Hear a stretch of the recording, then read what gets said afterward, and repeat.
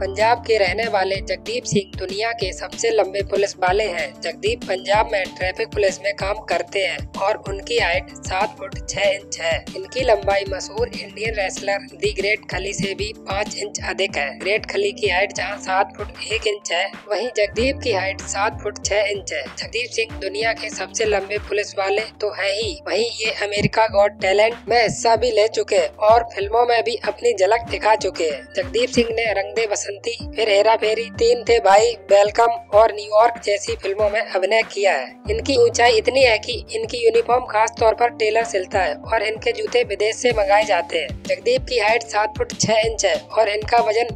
नब्बे किलो है इतनी हाइट होने के कारण जगदीप से कोई शादी करने को तैयार नहीं होता था लोगों को लगता था कि वह ज्यादा ही लंबे हैं लेकिन आज जगदीप शादीशुदा है और उनकी पत्नी सुखबीर कौर है जिनकी हाइट पाँच फुट ग्यारह इंच है